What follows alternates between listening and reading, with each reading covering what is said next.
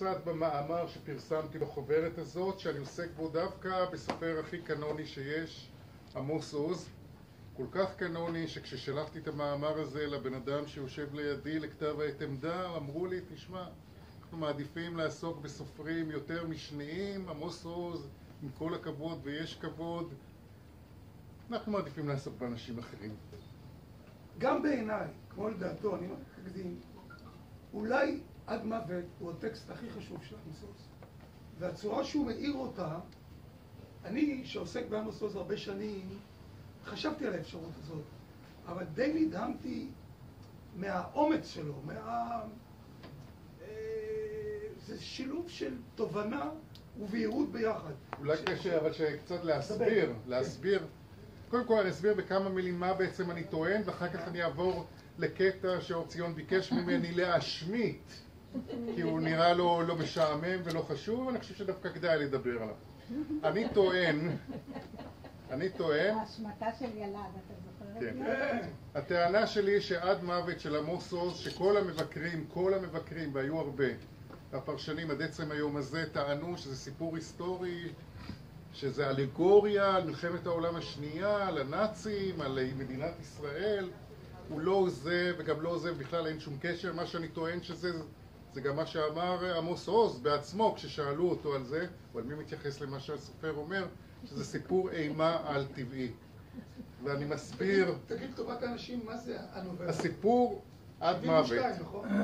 סיפור על חבורת צלבנים שבמסע הצלב הראשון יוצאת לה בדרך הארוכה לירושלים, בדרך הם רוצחים וטובחים ביהודים בלי סוף, עד שפתאום מסיבות מוזרות, ולדעת המבקרים השונים, אנשים כמו גרשון שקד ונורית גרץ, מראה על הטמטום של אנשי ימי הביניים, או איזושהי אלגוריה עמוקה עד לאין חקר של היחס של הנאצים ליהודים.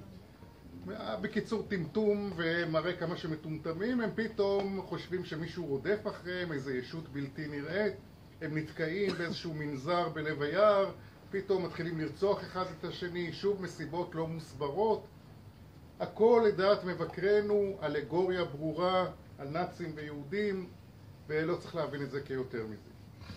הטענה שלי היא שהסיפור הוא סיפור אימה, אחד הגדולים בספרות העולם, שמתאר את המרדף של ישות בלתי נראית אחרי אותם צלבנים, ישות שכנראה היהודי הנצחי או היהודי הנודד, יש על זה כל מיני רמזים והיא מחסלת אותם אחד אחרי השני כי זה סיפור אימה שאתה מבין את זה רק בהדרגה ובתחכום שבאמת אי אפשר למצוא אותו כמעט בספרות הישראלית גם לא בספרות האימה העולמית אבל יש, יש דוגמאות שאני מביא אותן ואני מראה מה הקשר לסיפור הזה.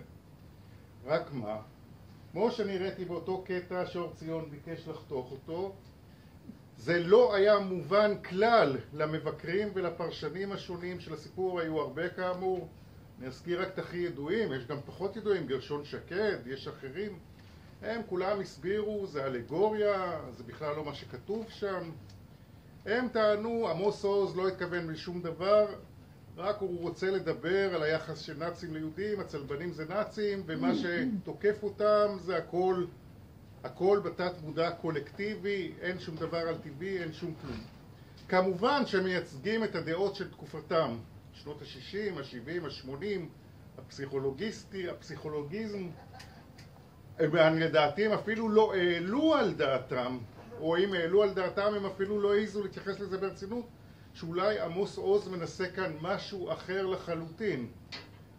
לא רק סיפור היסטורי, על ימי הביניים, שגם זה אגב דבר נדיר מאין כמוהו בספרות הישראלית החדשה. קשה מאוד למצוא סופרים ישראלים ידועים חוץ מעמוס עוז, אולי דן צלקה, אולי עוד אדם אחד או שניים מהסופרים הבולטים כמעט שאין, לא רק שמנסה סיפור היסטורי, מנסה סיפור היסטורי גותי של אימה. אז עשיתי ניתוח של הפרשנויות השונות, אף אחד לא העלה על דעתו שאולי זה זה, כלום, שום דבר, הם בכלל לא היו בכיוון, הם לא תפסו על מה הסיפור באמת. ולמה מובילים כל הרמזים שהסופר שולט, שותל שם. והתזה שלי, אם כבר אולי אני אוסיף שלפני כמה ימים הייתי בערב לכבוד אור ציון ורמי קמחי שנמצא כאן דיבר על זה שבספרות הפנטזיה והמדע הבדיוני הישראלית אין כמעט יצירות בולטות, זה הכל דני דין, לא צריך במיוחד להתייחס. אני לא מסכים עם הטענה הזאת. אני טוען שבהחלט יש יצירות בולטות וחשובות של פנטזיה ואימה אפילו עד מוות, זה אחד מהם, רק מה? באמת הביקורת שלנו, הסיפותית, שאין לה קשר ואין לה הבנה בכלל לנושאים של פנטזיה וכל מה שקשור, לא תפסה את זה.